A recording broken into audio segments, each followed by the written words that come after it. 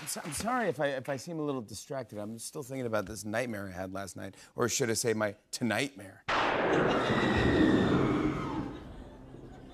I was alone, lost in the middle of a corn maze. It was getting dark, and I couldn't find my way out. I started to panic. Uh, I turned left, and then right, and then left again, and then I tried to jump. But all I could see far off in the distance was a sinister looking scarecrow. I jumped again, but the scarecrow was gone, and that's when I heard a rustling nearby. No, it was right behind me. No, it was right in front of me. The scarecrow was alive. It was made of bone.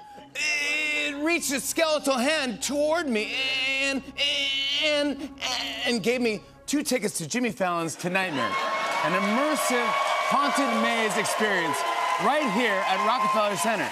It opens September 20th through Halloween. Get tickets, go to jimmyfallon'stonightmares.com. My nightmare has become your reality. We'll be right back with. Ah!